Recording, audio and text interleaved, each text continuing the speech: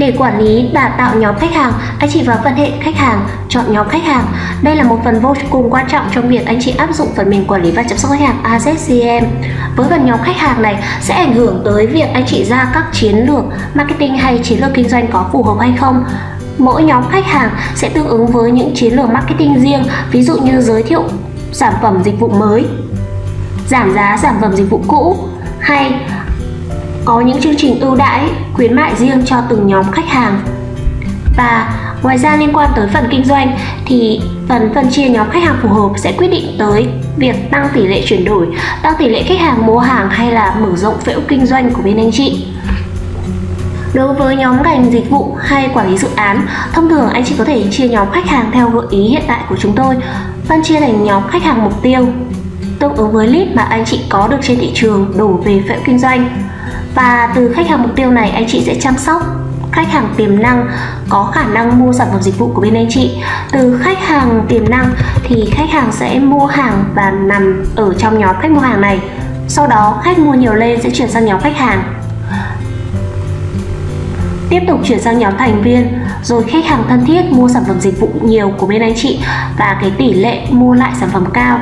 rồi chuyển sang nhóm khách hàng trung thành, tức là khách chỉ sử dụng sản phẩm dịch vụ của bên anh chị. Và cuối cùng vào phễu kinh doanh thì anh chị đã đạt được mục tiêu, đó là khách hàng trở thành fan cuồng chỉ sử dụng sản phẩm dịch vụ của bên anh chị cung cấp mà thôi. Ngoài ra thì anh chị có thể quản lý thêm các nhóm như đối tác, cộng tác viên và đại lý phân phối sản phẩm dịch vụ của bên anh chị. Đôi khi trading fan lại trở thành đối tác, cộng tác viên và đại lý mà anh chị không mất một đồng phí nào để PR sản phẩm dịch vụ của bên anh chị cả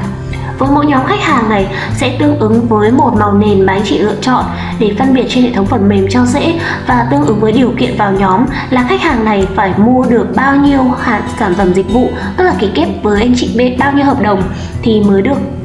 ừ, nằm trong cái nhóm khách hàng này. Và phần mềm hiện tại đã được thiết kế để cho phần mềm có thể tự động chuyển đổi nhóm khách hàng theo điều kiện vào nhóm mà anh chị đã thiết lập tại đây.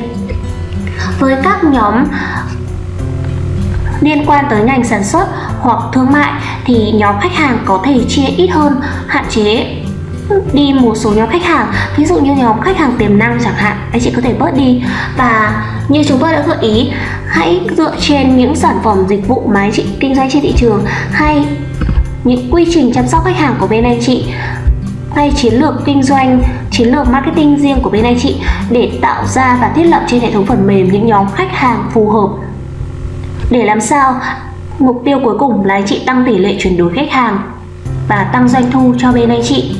Đối với phần mềm quản lý và chăm sóc khách hàng Ajaxin, với phân chia khách hàng như thế này sẽ giúp cho anh chị có thể theo dõi được dễ dàng phần báo cáo số lượng khách hàng theo từng nhóm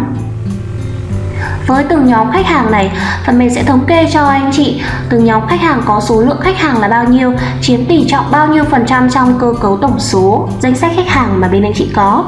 Dựa vào những con số như thế này thì anh chị sẽ đưa ra được những chiến lược kinh doanh cũng như là marketing riêng. Ví dụ như anh chị muốn tăng số lượng thành viên lên chẳng hạn thì anh chị cần phải có những chương trình ưu đãi hay là khuyến mại dành riêng cho những cái nhóm khách hàng mà anh chị đang hướng tới. Và để tư vấn hỗ trợ thêm thì anh chị vui lòng liên hệ với website azshop.vn hoặc hotline 0934 457 589.